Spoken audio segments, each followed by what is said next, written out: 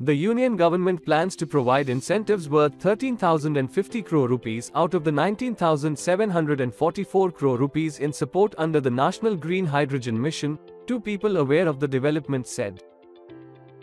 It plans to provide incentives totaling 17,490 crore rupees to produce green hydrogen and electrolyzers under the mission announced in February. Of this, 4,440 crore rupees would be allocated for the manufacturing of electrolyzers.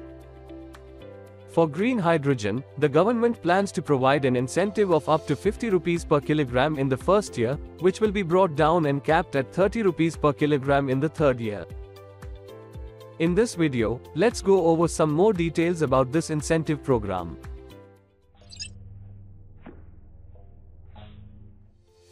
According to a draft proposal, the center plans to give direct incentives in terms of rupees per kilogram, and the beneficiaries under the scheme will be selected through a competitive bidding process. In the first year, the incentive would be the highest and would gradually be lowered in the following two years, one of the two people cited above said on condition of anonymity. Applicants need to have experience developing at least 500 megawatts of renewable energy capacity over the past four years, or a minimum of 500,000 tons of ammonia or methanol, or 100,000 tons of hydrogen over the last four years. The scheme will kick off in financial year 26.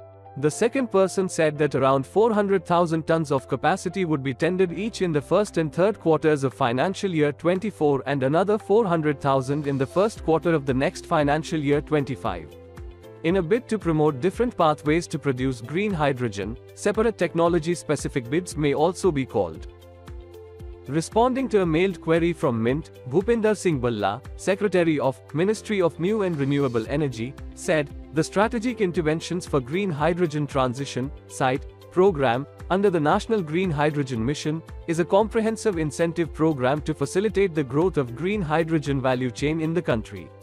Under the program, two distinct financial incentives, targeted at support for domestic manufacturing of electrolyzers and production of green hydrogen have been proposed. The incentives will be awarded through a competitive bidding process, and the incentive amount will taper down annually. Draft concept notes on the SIGHT program have been circulated to industry chambers and associations for consultations, he added. The Indian government approved the National Green Hydrogen Mission with an initial outlay of 19,744 crore rupees in January.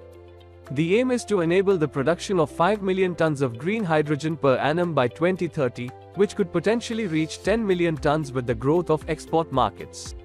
The government hopes to turn India into a global hub for the production, use, and export of green hydrogen and its derivatives.